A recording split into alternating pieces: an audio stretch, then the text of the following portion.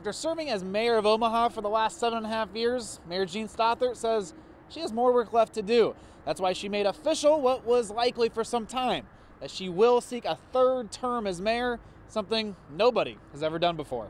There has not been a mayor that has served a third consecutive term, but you know, I feel like I just got started. Mayor Jean Stothert went down a list of accomplishments on Wednesday, saying she's done plenty to get a third term in office. I love the direction Omaha is going.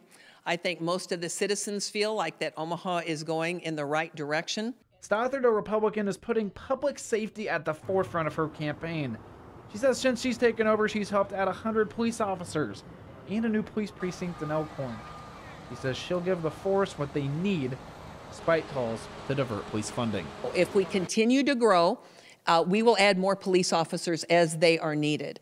But I will tell you, to defund the police department right now or to dis disassemble any police department is reckless, it's irresponsible, and I will not do it. She also mentioned how she's proud to expand the city's public transportation, including helping to put together and fund the new ORBT buses that started their routes just this week. We really hope that with offering other more modern transit options for people, that more people will take advantage of them. Stothert, the city's first female mayor, says there's plenty for her to do still.